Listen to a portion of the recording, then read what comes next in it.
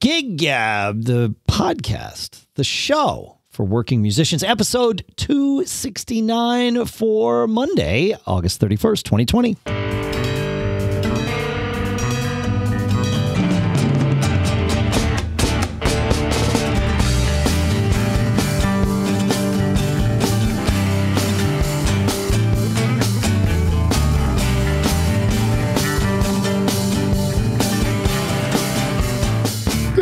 Folks, and welcome back to Gig Gab, the show by, for, and about working musicians here in Durham, New Hampshire. I'm Dave Hamilton. Here in Nipomo, California, it's Paul Kent. How's Nipomo treating you today, my friend?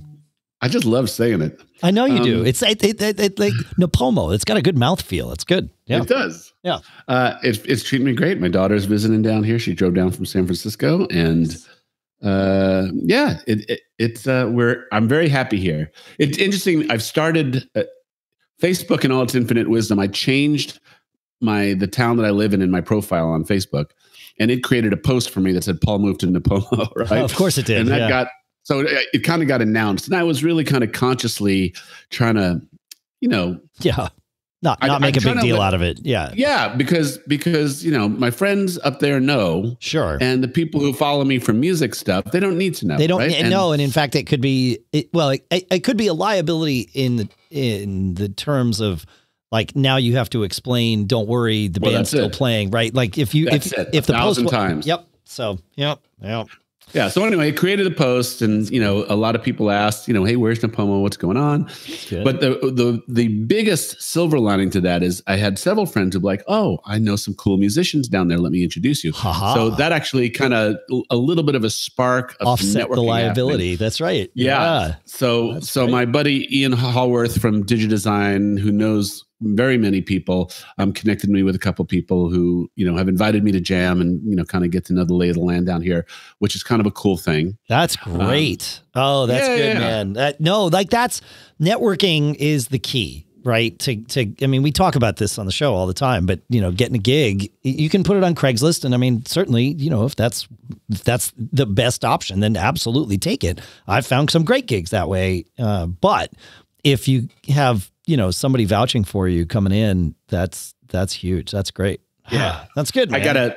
I'm gonna. I have. I need a little work done on a guitar. There's a really good guitar shop in Arroyo Grande um, called Lightning Joe's, and so I'm gonna um, go over there and get some work and you know just kind of pick their brains Yeah. as to as to what's going on. And so we got that, and I gave my card out to a couple places that you know they can't do music right now, but you know I said I'm new here. So the, it's begun, and uh, you know I built up quite a bit of fear that I was going to be dead in the water, you know, and, and not be able to get it going. I mean, I'm a fairly confident guy, but this is you know That's a huge starting from- change. oh, dude. starting from scratch Yeah. after you know after building something for 20 years i And guess you could have taken one or two doors if i did it once i could do it again or you'd be like oh my god i'm starting to you know, do the bottom of the barrel again yeah, I so I've I've moved a couple of times, right? You know, I mean, I I grew up in Connecticut, then we moved down to Austin, then we moved back to Connecticut, but that was like there was some, of course, there was some you know overlap there, but the bands that I played with were completely different, you know, both times. But there was some of that. Oh, you know this guy, yeah, and then he'd call that guy and like, oh yeah, you want Dave as your drummer? Okay, great. You know that helped. Um, and then of course moving up here, and I I thought moving up here would be like, oh, it's just like the last ones. Like, no problem. I just, you know, kind of cast my my net and we'll see what happens and it'll all work out. And as soon as we got here, it was like, oh no. Like I was I know the thought process you were going through. But obviously it's worked out fine. I mean, you know, you just do your thing and uh and I really I I know it sounds all all fluffy and woo woo, but just keep playing, man, and and that'll Ah, that'll you know that'll make it happen. Yeah. Well, in fact, I got to I got to play this past week. I I got ah tell me um, about it yeah, we had our Monkey Fist gig. Any gig I play now could be the last of the year, right? Because you know it's getting colder. Certainly by the end of September, maybe I'd, I I could possibly have gig opportunities in October, but uh, any of those could be rained out, you know, and then that's that. And so it it was it was somewhat emotional going into and playing Wednesday's gig with Monkey Fist, knowing that wow, this could be the last one. You know, we we sort of knew when we played our our gig before quarantine that like eh, this could be it for a Right. while. Like you know, we were right on the cusp. In fact, I think I arrived at the gig. It was a Friday night gig, and it was the day that South by Southwest had canceled. You know, which was only a week before they were supposed to have the show. It was very late cancellation, but you know that's how things go with the pandemic. Um, and and and so that one, I mean, we sunk our teeth in and enjoyed it, but this one was a little more like, well, you know, unfortunately now we we, we came into this one with the knowledge of what it's like to not know when you're going to play next. You, you know, right. and then obviously we've been very fortunate. We've had the opportunity to play a few times, but this one could have been the last one. But we played well. It was, you know, it was an outdoor gig. Um, it was a, a good setup. They had, um, was at like this town I'll call it a town park. They had a bunch of like, uh, you know, baseball fields and things like that and a big pavilion. We set up under the pavilion, but none of the crowd was under the pavilion. Uh, they were all sort of in the sunshine uh, out outside of the pavilion. So it was kind of nice. It was nice to have a, a roof over us for some reflection and, and getting the sound pretty good and um, and all that. There was a playground right next to where we were playing and I just kept looking over and there's like probably, you know, 25 kids just crawling all over each other in this playground. And people people that were there were either masked or socially distant, certainly were socially distant. Some of them wore masks the whole time. Some of them wore masks as they came to their seats and then of course there were some that that didn't wear masks at all. But but people certainly, you know, it, it checked both the boxes. I was able to be as safe as I wanted and the crowd could be as safe as they wanted for sure. But you know, watching all these kids at the playground, it was like, man, that yeah. like COVID gardens over there. I don't like. I, I mean, I, you know, but I, but I don't know. I didn't talk to any of those people. Maybe you know, I know a lot of uh, neighborhoods have organized their kids into pods you know where everybody is sort of and they're not going back to school. So they're that's their group and they've either all been tested or quarantined enough to basically trust that you know they're not going to infect each other and that sort of thing. So i kept trying to tell myself nope all the kids playing on the playground they're all in one pod together. But it seemed like a lot of, it seemed like a lot of kids paul. Well I, yeah it, well it seems just like you're assigning too much forethought and and uh, and intelligence to it. I mean that's the lesson of all this right? You know given given wiggle room of subjective yeah. decision making. Right. You know, you're you're going to get a lot of different decisions. Yeah. And, and every every one of us is making subjective like subjective decision making. I am not immune to it. I just make different subjective decisions, right? Like, you know, we yeah. got we got fling together for the first time on Friday afternoon since the pandemic began and Russ hosted us outside at his house. Uh, we just played acoustic and it was just really it was just three of us. It was just Russ and Mike, the two guitar players and me. Uh, and we we played for I don't know two and a half hours or something, and we had a blast out there. But the beauty is, I live in a town with the University of New Hampshire. The University of New Hampshire has uh, spent the summer retooling all of their labs to be COVID test processing labs. And that means that every student and teacher is being tested. I think the students are all being tested twice a week. The teachers, uh, I think, are at least once a week, maybe twice a week. So, you know, all three of us came into that that jam having had a test within the last five days. And and so we all felt really comfortable. Uh, so we you know we kind of have it in that band. We at least have the two of them by default. And of course, you all know me. I've been crazy about getting tested anyway. So yep. we've got three of us by default that are always sort of relatively up to date on that sort of thing. And we all felt comfortable with it. But, you know, when I got there, we all had masks on. And I, I said to, to Russ and Mike, I said, Are you guys comfortable if we remove our masks? And they said, Yeah. Are you comfortable? I said, Yeah.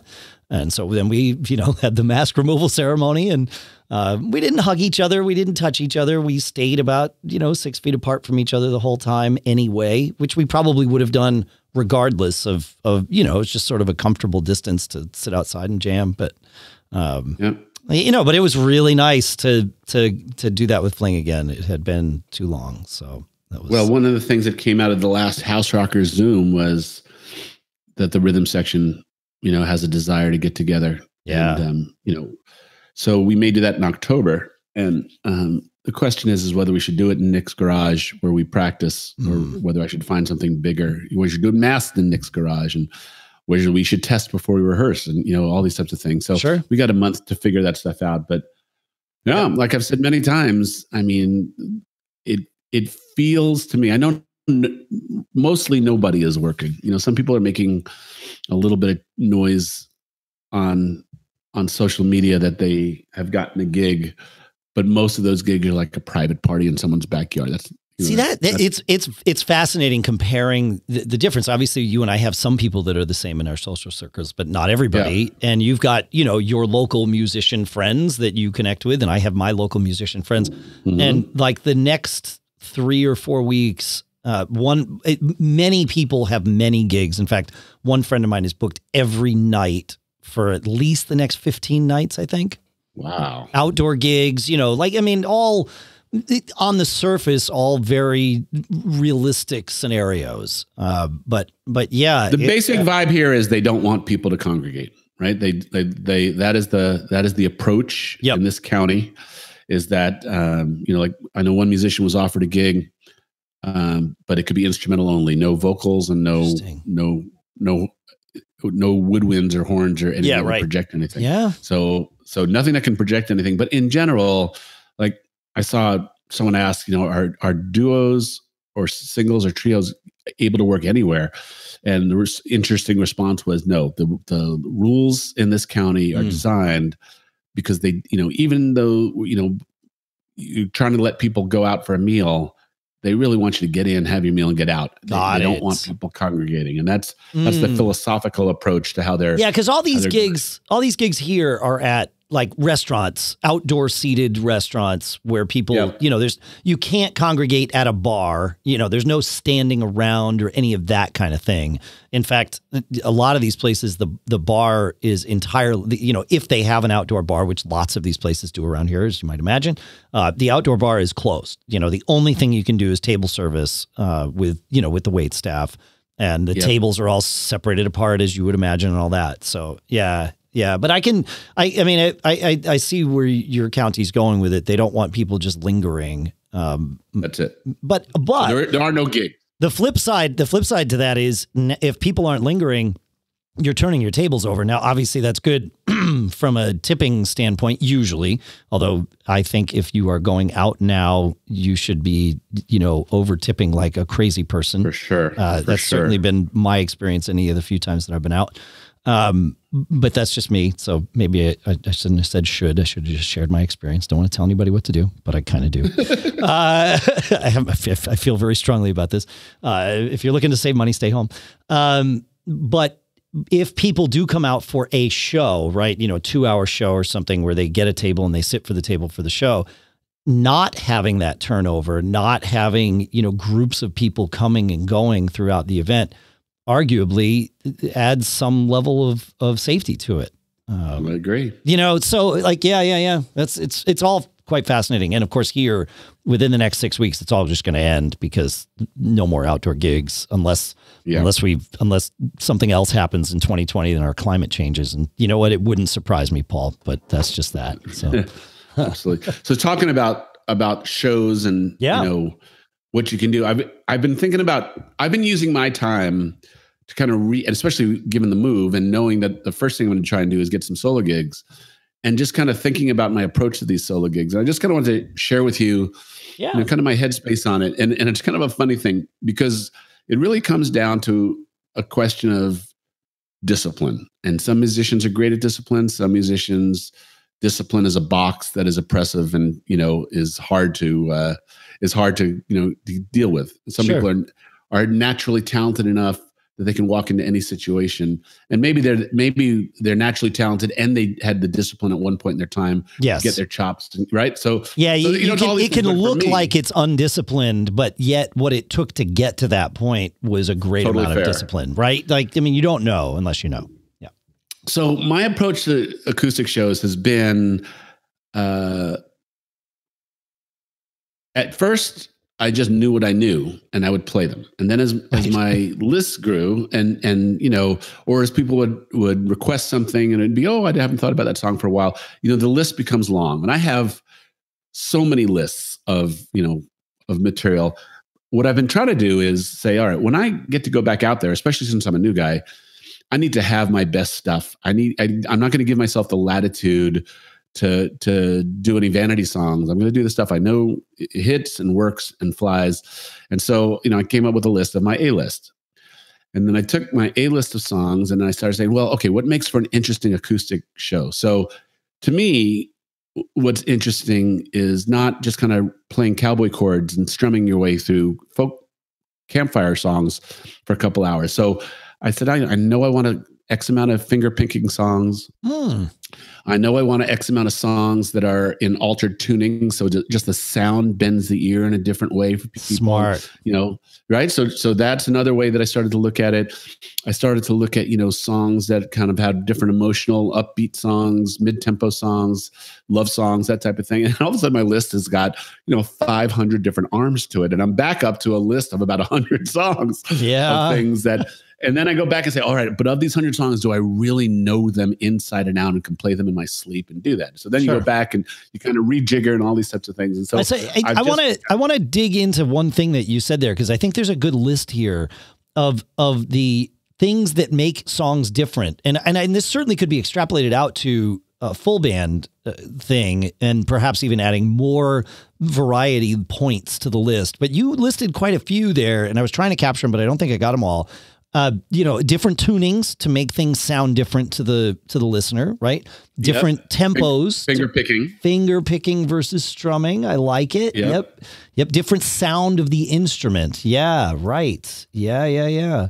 What, what, what else could, I mean, what else do we have there? We've got tempo tuning. Well, I have I have upbeat songs, love Yep. songs, you know, mid tempo songs of which you know in the acoustic genre they share a lot. Yeah, a and then actually yeah. the other way that I sliced it is I started thinking about the different artists that I t- gravitate to and what are Mm. what are the songs I know by each artist. And then again, then then you know, there's the songs I really know, and the songs I'm just a couple, you know, an hour away from locking down. Yeah. But that, you know, I, I have a little bit of ADD with this type of stuff. I, you know, I love so many songs. I kind of get compliant enough and would throw them into a set list. Now they're kind of in my in my brain, but they really need some finish polishing yeah. in order to truly be gig ready, right? So that's what I'm saying is like all those all those thinking by yeah. artists, you- Well, yeah. You need to know them. Right. feel, Yep. you know, Yeah. by by sound. I just kind of slice it each way. And and and changing key too. I mean, I, I- realize Yes. changing your tuning is is one way of accomplishing that, but that's a little bit different because that's gonna, like you said, that's gonna change the the timbre of the of the guitar uh, or of your Yes. instrument in general. But just making sure that you don't play, you know, four songs in a row that are all in G, or if you do, Yes. be intentional about it. y- You know, because people will get get you know tuned out to that if it's just like, oh, it's the same thing over and over again. You know, that's cool. If Oh, you the other thing that I do segue is- and stuff, but yeah.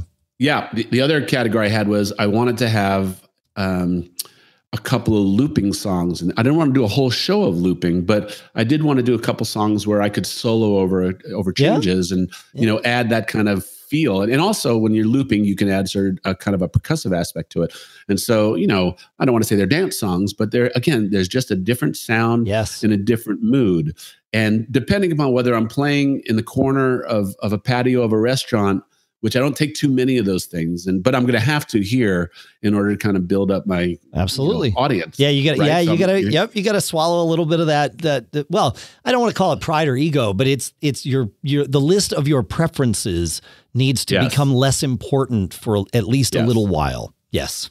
yes, I create I created a little bit of leeway for myself after doing it for so long in in one neighborhood, and Right. now I got to do that again. So so again, what songs work well with that? And oh, sing-alongs, like you know. oh, yeah. If people are paying attention and I want to really grab them, what are the songs that everybody loves to hear? How many of the songs are are drop dead? I everybody knows these songs, right? Yep. And how many of the songs can I just do? Because you know that's a little bit of the artistic reach for me. What songs that I really feel passionate about can I introduce to people where they come up to me and say, "What was that song? You know, that was really cool." And again, I, you can't do two hours of that because they're not going to remember two hours of stuff. And Right. and Yeah, you it's, know, it's but- enough trouble for us to remember two hours of lyrics. Exactly. So you know, just you know, if one or two songs in, in a in a set, um, I can introduce you know something that I know really well, or you know, and then you know, what songs do you want to bring back from uh, different eras? So there's so many ways to kind of kind of conceptualize this. And again, now my list is 100 songs, yeah. and I got to get it down to you know 12 to 15 songs per hour. And um, I really want to get back to my Do you my find that with an acoustic gig, you're still able to to stretch 12 to 15 songs for an hour acoustic? I always find acoustic it's more like 18 or 19. Um, no, I mean, again, you know, they're four minute songs Yeah. in general. And I actually try to talk to the people, you know, if, if they're paying attention, they want to talk it. to me. Yeah. And so that, you know, there's a little bit of space in between that, you know, is part of the vibe that you're setting that, that I do. And again, some other people just come in, set up and play their stuff. And, you know, that's what you hired me for and that type of thing. Yeah. But I'm trying to get people to follow me. You know, I'm trying Yeah. to get, make a connection Yeah. Is that, sure. that- at least that's what works for me. You know, some people's Oh. chops are so good A- that that's what'll work for them, right? Absolutely. No, you play to your own strengths, man. Of course. Yeah. So it sounds to me, you know, I'm I I I I think a lot about like productivity in general and and hacking my brain so that I wind up being productive by accident. You know, it's it's it's a thing I think about a lot. And I'm a because of that, I'm a big fan of systems because when you put a system together, you don't have to think about I, discipline, right? I think about discipline as you know, will or discipline slash willpower. I we all wake up every day, or I wake up every day with a limited amount of willpower points to spend in a given day. So I try to organize systems so that things get done, things that I wouldn't want to do get done because I want to complete the system. And and by creating this this thing that I want to do that encompasses things I don't want to do, I haven't had to spend any willpower points, which is great. You know, like even doing like the podcast is a great example us doing now this i mean this show is your idea but the idea of doing a podcast with a co-host really appeals to me because i want to be seen as a reliable person to my friends aka you. So even though you know i didn't sleep all that well last night my back was sort of messed up and all this other thing it was like well i'm definitely like if it was up to me to record the show today i would have taken a nap but it wasn't up to mm. me. It was up to us, right? I have a system in place. Mm. I wanted to do the show because I wanted to make sure we hit our commitments to each other, you know, that sort of thing. So, like those sorts of systems versus discipline are a big, like it's a big thing for me, as you as you might now be be figuring out. And and what you've just described here, where you're mixing up your show by all of these, you know, you've created a, you you created the the bones of a system and now you get to the gig and now you're excited about trying out the this version of the system and you'll put some energy into set list because you've you've essentially hacked your brain into this this thing where you want to do this which is great Well, a set list is a system, right? You, It is a you system. conceptualize the set, set list as I want to open strong, Yep. and then I want to get emotional, and then I want people to dance, and you know that's a system. And so plugging things in there, and you're right, you know that that takes a little bit of the guesswork. It at least lays out a plan that you know gets you to a destination, and that's, you can always change course mid plan too. Like that's Sure. the thing I love about having a set list is it gives me the freedom to experiment. And then if I really, if it's like, oh, this experiment's going nowhere. Okay, great. Wait, what was the thing I, when I was being intentional about this at my house? You know, very cr- carefully crafting a set list. What was the thing I I decided to play next? It's like, oh, it's right there. I don't have to think about it. I just go back to the list. And if inspiration strikes, even better. No problem. Yep. So Yeah. yeah.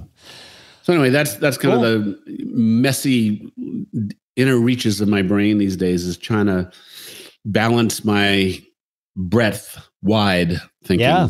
about about song selection with funneling it through some discipline so that you know when I get gigs, you know I can play stuff that is, I'm pretty confident is going to work well. I can still have my list of stuff to go grab, you know, if if it seems like this is a crowd that would go there. But if not, you know, I got stuff that'll show me in the best light and, you know, sound good and be Yeah. pleasant for everybody involved. And I enjoy playing. And so, you know, but it's, uh, it's like I said, I started out with, all right, I need, I need 30 songs. Go through that list of, you know, 200 songs I have Yeah. and pick the top 30. And then all of a sudden I started dicing and dicing and dicing and categorizing and, you know, thinking about it in so many abstract ways That's fun and though. Back up to 100. It, it is is a lot of fun, and I love all these songs. And actually, you know, maybe the right answer is, as a musician, you know, just twist the problem on its side a little bit. I should really have 100 songs I know dead cold, right? Yes. Not not you know, and I have the time now to make that happen. So you know, why not do that as opposed to just uh, you know extracting the 30 songs that are, are you know have 100 songs that work Sure. and uh, you know yeah. The, o- the only flip side that I will offer to folks, and eh, you know, you are, uh, you know, deep into your career. You have a lot of experience. You know, you know to how to avoid some of the more common pitfalls. there is a pitfall of preparation paralyzation, right? Where you're mm. like, oh, we're not ready to play yet. And you can, like, I could even now, if I took, you know, let, let, well, forget, let's, for a moment, can we pretend and forget pandemic? Cool. Thanks. Uh, let, us pretend it's it's you know March first and there's no concerns and it's like all right, cool. Well, you know, Fling has a gig coming up. No problem. Like I, you know, I like that band is in great shape. You know, we we playing together regularly. We just can go out and do it. No, we've proven it many times. No problem. But I could say, well, gosh, you know, I don't know if that we should take this gig. You know, I, uh, Aaron hasn't been at rehearsal for a few weeks, and you know, like I can always come up with an excuse that is valid in my own head, rationalized to, you know, decide, well, let's wait. Certainly when you're starting out, that those excuses are even more valid, right? You know, if you haven't ever played a gig yet, well, then it's really easy to say you're not ready because the reality is you won't be ready to play a gig until you've played five or 10 with a band. You know, every band I'm in always takes the first gig sometimes is like amazing because it's everybody's, you know, on high alert, things go well. And then you get that sophomore slump that usually lasts like three or four gigs. And then things click in, everybody's, you know, on top of it. And then you realize back, you look back and you're like, you know, that first gig wasn't actually as good as we felt like it was, but it felt pretty good in the moment. But really now we're, we're starting to hit our stride. And that's what you have to do. And so I, I know you know that, Paul, but, you know, just for anybody listening, get out there, do start playing. There's nothing that says you can't be refining your system or your set list or whatever it is throughout that process. In fact, you should be refining your set list. You will be. You will find yourself doing that. So, I and here's the flip side to that. There is a lovely velvet glove of comfort when you just play your set. You know, when you have a set of well rehearsed stuff yes. and you're committed to it, there is a there is a out of body experience that you're not thinking about anything except promoting your music. So you you know you find and you find which one works for you. Yeah. You know, I I mean, if you go over, you go over. At the end of the day, whether you're if you're yeah, are you entertained as you think? Yeah, yeah. I mean, yeah. did you get the gig and can you keep the gig? I guess is the, is the, the ultimate test. Yes, every, was everybody happy when you arrived, and are they happy? Are they happy about you having been there? I was going to say, are they happy that you're leaving? But that that could happen for a variety of reasons. Yeah, yeah.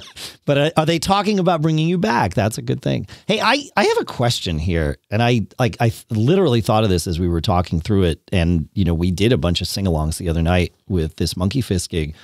In in these times, so we, we we're gonna have to stop pretending for me to ask this question. So we're back to the reality with with uh, pandemic. I'm sorry. Are sing-alongs a responsible thing to do right now? Like, I never thought about this. You know, thinking back on it, I think we were okay with it. But, you know, the idea of making sure the crowd remains safe. If suddenly you have the crowd singing, uh, you know, are they now projecting more? And I realize the science on on singing versus talking it keeps sort of changing whether whether singing is actually any worse uh, in terms of projecting specifically COVID nineteen and and all that versus talking. But um, but you know, should should should we survey the crowd and their social distancing before we opt to bring them down the path of a sing along? It's safe if you're streaming. It's safe if you're streaming. that is true.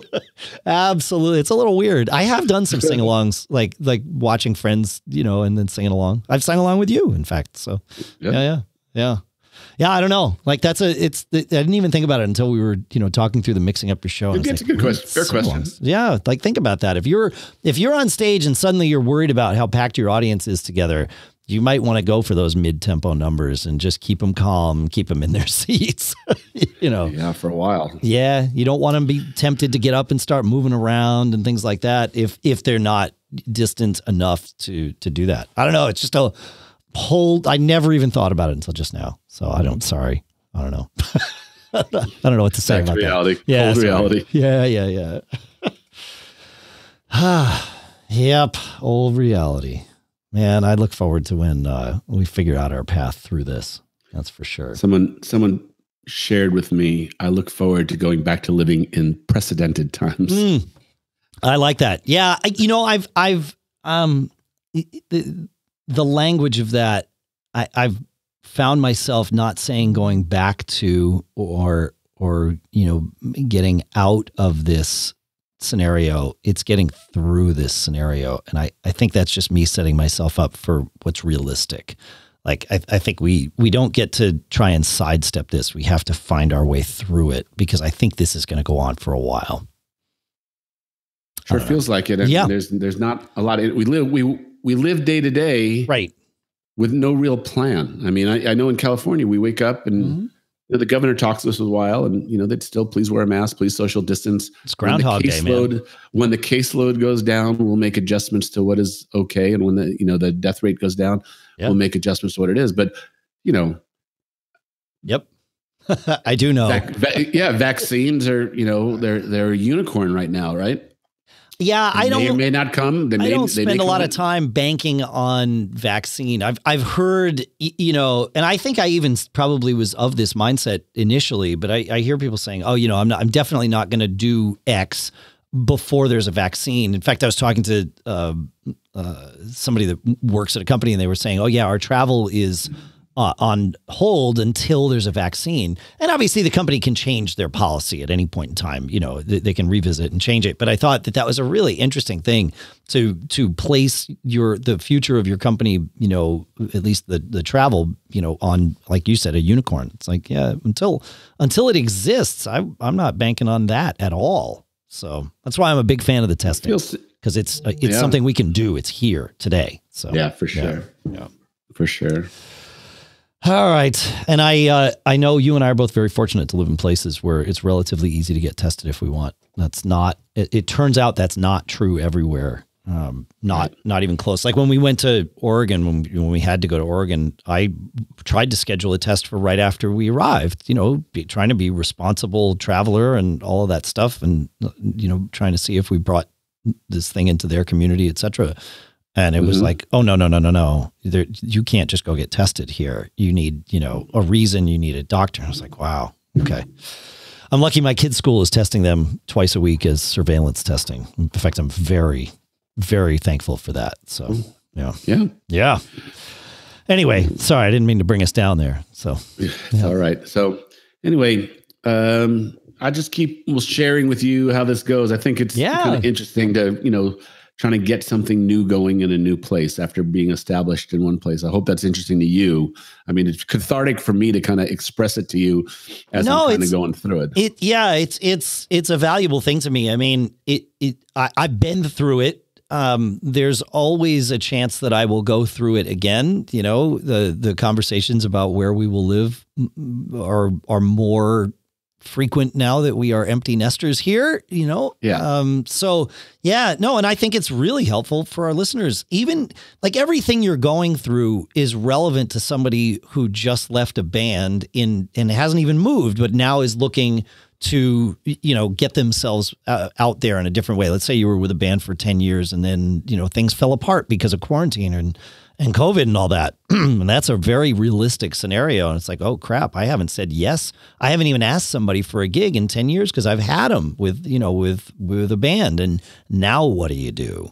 So, I think this is I think your your journey here is is a very relevant one for our all, of us for a variety of reasons, you know. Yeah. Well, good. It- Yeah. it- like I said, I, I'm getting more from the conversations than I'm giving, but um, it, it- it's it's good to talk about it. I think, and Oh.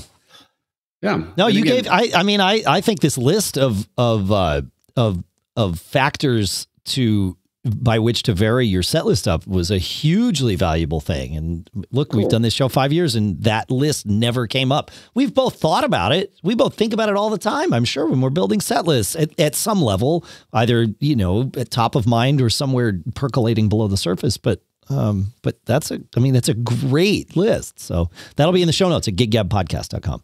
Well, good. I'd, I'd love to hear from people out there. You know how you approach your solo and duo gigs, and you know how you conceptualize the songs that you want to do. Do you just get a set together and and you know you know you kill it, and that's your show for this year or this month or whatever it is, or you know do you have a big library of songs to choose from, and uh, and uh, you mix it up to keep it interesting for you, and you know keep that fresh feel going. Yeah. I mean, I don't. There's not a right or wrong. I mean, if people are loving it, people are loving it.